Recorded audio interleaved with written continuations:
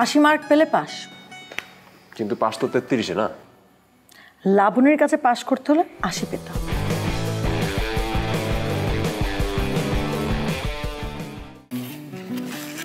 কি ব্যাপার বলেন তো? আপনি না কলেজে পড়েন? এইসব বই কেন? এসব বই আমার জন্য না। এসব বই আপনার জন্য। কাল সারা রাত পড়ে আপনার জন্য প্রশ্নপত্র তৈরি করেছি। যে আমাকে পড়াবে তার জ্ঞান কত দূর সেটা আমার জানতে হবে না? হুম। আপনার তো বেশ ভালো বুদ্ধি। এই যে প্রশ্নপত্র। আশি মার্ক পেলে পাস। কিন্তু পাঁচ তো তেত্রিশে না? লাবণীর কাছে পাস করতে হলে আশি পেতে হবে। আচ্ছা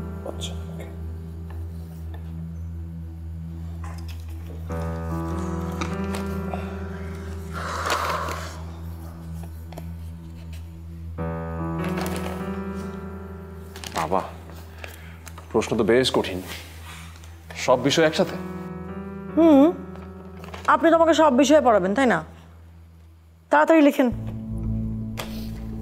অনেক হয়েছে। আর কোনো মজা না? এখন সিরিয়াস হন পড়তে বসেন। কিসের সিরিয়াস পাশ করলে মজা আর না করলে অপমান। কি? অনুরোধ করতে আসছেন? আপনি যে পড়াশোনা পারেন না, সেই কথা যেন আব্বারে না বলি। আপনার প্রশ্নপত্রের প্রথম প্রশ্ন। চাঁদে প্রথম কে পা রাখছিল? উনিশশো উনসত্তর সালের বিশে জুলাই, মার্কিন নভোচারী নীল আর্মস্ট্রং মানুষ হিসেবে সর্বপ্রথম চাঁদে পা রাখে। আপনার প্রশ্নপত্রের দ্বিতীয় প্রশ্ন, রাসায়নিক সাম্যাবস্থা কাকে বলে? যখন কোনো রাসায়নিক বিক্রিয়ায় সম্মুখমুখী বিক্রিয়ার হার আর পশ্চাৎমুখী বিক্রিয়ার হার সমান হয় ওই অবস্থাকে উভমুখী বিক্রিয়ার সাম্যাবস্থা বলা হয়। হ্যাঁ? হুম।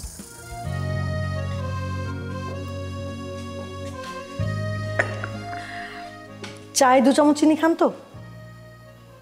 চিনি দিছো তো নাকি লবণ দিয়ে চিনির কথা বলতেছো? আপনি তো লবণ দিয়ে আরাম করে খান আপনার অসুবিধা কি? সেটাই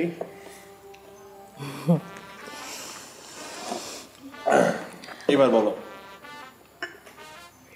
তোমার কি ভালো লাগে?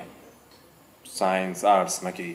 আমার ভালো লাগে ঘুরতে ছুটে বেড়াতে নদীর বুকে দাপাদাপি করতে আকাশের দিকে টানা মেলে উঠতে। আগে যখন আম্মা ছিল তখন এগুলা করতাম। আম্মা প্রতিদিন আমাকে নিয়ে ঘুরতে যেত। আব্বা আনোয়ারকে দিয়ে ডেকে না পাঠানো পর্যন্ত আমরা বাসায় ফিরতাম না। তোমার আমি লাবণের পড়ানোর দায়িত্ব দিয়েছিলাম আকাশ বাতাস করার কথা বলি নাই। আমার কাছে খবর আছে। গত একটা সপ্তাহ তুমি তার নিয়ে ঘুরে বেড়াইছো। এই মাঠে তো ঘাটে, এই গরুর গাড়িতে তো নৌকায়। হুম, হুজুরের কাছে পাক্কা খবর আছে। কেউ কেউ তো বলা বলি করতেছে এই গ্রামে যে হুজুর কি মেয়ের লজিং মাস্টার রেখে দিছে, নাকি ওই যে এই পাড়া ঘোরার লোক